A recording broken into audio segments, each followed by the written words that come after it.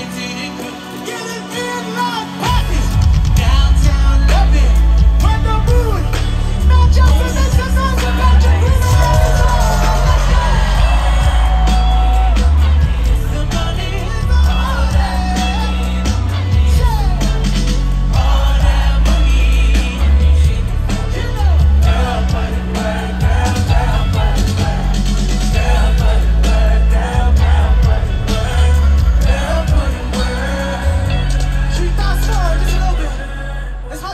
shit and fast forward just a little bit.